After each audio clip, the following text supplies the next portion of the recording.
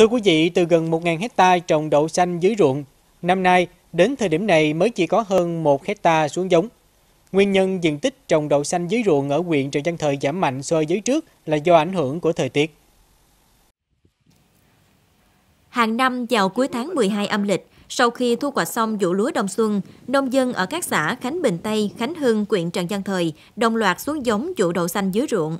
Có năm tổng diện tích xuống giống đậu xanh toàn huyện Trần Văn Thời gần 1.000 hecta.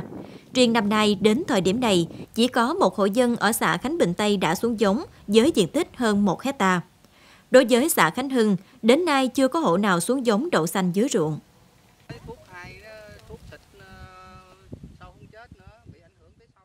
Nói chung ra là bị mua được rồi nó quá trời nó thất bại. Đất mì còn mềm quá rồi mưa xuống nó lúng. Rồi nó ứ trong lỗ á, nó không có thoát nước được. Rồi bắt đầu mới nổi phèn lên rồi nó làm cho đậu nó nó cằn xuống rồi nó yếu đi. Nó không có tốt được.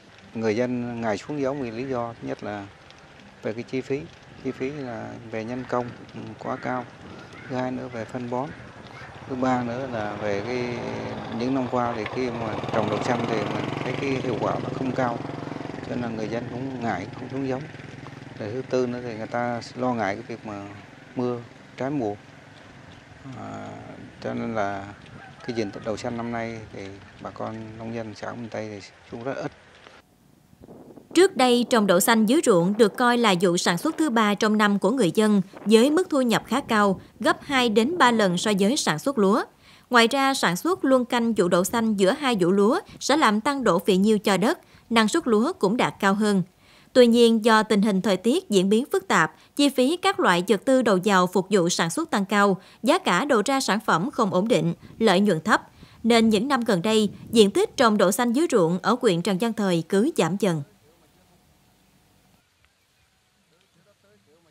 thì trong thời gian tới thì ờ, xã của miền Tây cũng sẽ à, đưa một số cái nông dân đi học hỏi các cái mô hình khác để đưa màu xuống ruộng chẳng hạn như ở xã Trần Hợi cũng như xã Khánh Bình Đông để từ đó thì sẽ à, nếu mà phù hợp thì sẽ từng bước nhân rộng cái mô hình này à, tại xã miền Tây để làm sao Thế bà con ừ, để để thay thế cái cây đậu xanh à, và à, tăng cái năng suất tăng cái, cái thu nhập bà con nông dân sau cái vụ lúa đông xuân hàng năm.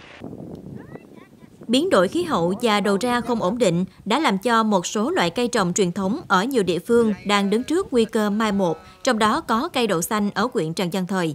Hiện tại, các ngành liên quan và bà con nông dân đang xem xét chuyển đổi một số loại cây trồng khác phù hợp với điều kiện thời tiết và thổ nhưỡng từng nơi nhằm tăng thêm thu nhập trên cùng diện tích đất sản xuất và hướng đến các mô hình sản xuất bền vững.